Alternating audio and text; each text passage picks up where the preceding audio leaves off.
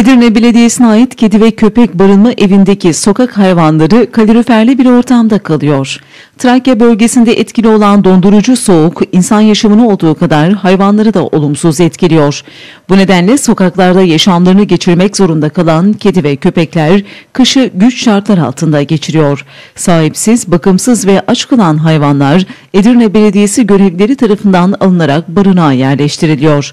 Burada veteriner kontrolünden geçirilen hayvanlardan hasta olan tedavi altına, diğerleri ise koruma altına alınıyor. Şu anda 350 civarında köpek ve yaklaşık 20 adet kedinin kaldığı barınma evinde hayvanların kışı rahat geçirebilmeleri için kaloriferli bir ortam sunuldu. Hava sıcaklığının eksi 5 derecenin altına düştüğü şehirde koruma altındaki hayvanlar sıcak bir ortamda günlerini geçiriyor. Edirne Belediye Başkan Yardımcısı Doktor Ertuğrul Tanrıkulu, kedi ve köpek barınma evinin kış şartlarına hazır olduğunu söyledi. Sokak hayvanlarının klima, kalorifer ve korunaklarla soğuğa karşı gerekli önlemleri aldıklarını belirten Tanrıkulu, bütün ünitelerimiz kalorifer sistemiyle donatıldı. Çok ciddi bir masraf yaptık. Hayvanlarımız kaloriferli bir ortamda, uygun ve rahat bir ortamda kalıyor. Onlar da mutlu gördüğünüz gibi. Onlara bu ortamı sunmak bizi de mutlu kılıyor dedi. Dünyayı birlikte paylaştığımız bütün canlıları biz Edirne Belediyesi olarak çok önemsiyoruz ve bu konuda da elimizden gelen her çalışmayı yapıyoruz. Özellikle biliyorsunuz biz son dönemde kedi evi de açtık ve sokak hayvanları barınağımız, kedi evimiz bu anlamda kış şartlarına da hazır. Ee, bütün kalorifer sistemiyle, klima sistemiyle ve korunaklarıyla beraber biz burada gerekli önlemlerimizi aldık. Bu anlamda da Edirne Belediye Başkanlığı bu Edirne'nin e, ihtiyacı olan e, işte sokak hayvanları, efendim insanları ne gerekiyorsa elinden gelen her çabayı, çalışmayı kendi e, şeyinde yapıyor, yetkisinde ve görevini yerine getirmeye çalışıyor. Biz geçen yıl 2013 yılı içerisinde burada 500 hayvanı sahiplendirdik. 2000'den fazla e, hayvanı da sokak hayvanını, köpeğimizi kısırlaştırdık, aşılarını yaptık. Bizim Edirne halkından, insanlardan beklediğimiz, tüm Türkiye'deki halktan beklediğimiz duyarlı olmaları, özellikle bu kış şartlarında sokak hayvanlarının beslenebilmeleri için yemek artıklarını filan uygun yerlere koymaları.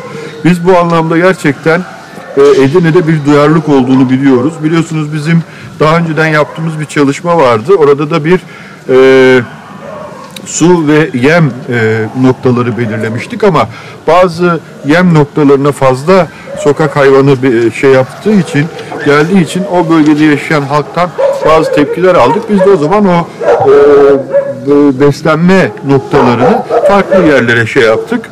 E, önemli olan şey evet, evet, evet, evet, evet. E, bu 500 hayvanı sahiplendirmek bizim için çok önemliydi.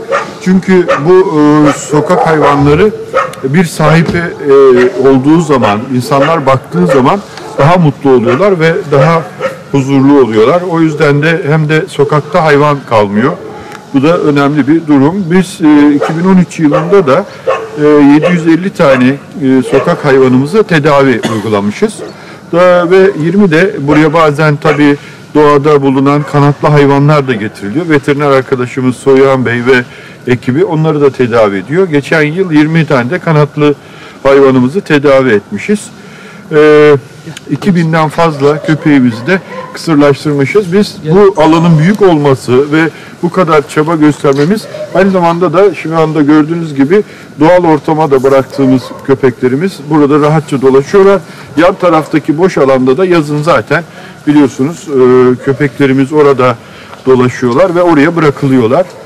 E, biz burayı e, geçen yıldan beri önce UFO'larla biliyorsunuz elektrikli şeylerle ısıtmaya çalıştık. Faktık ki bu doğru değil ve istediğimiz performansı da alamıyoruz.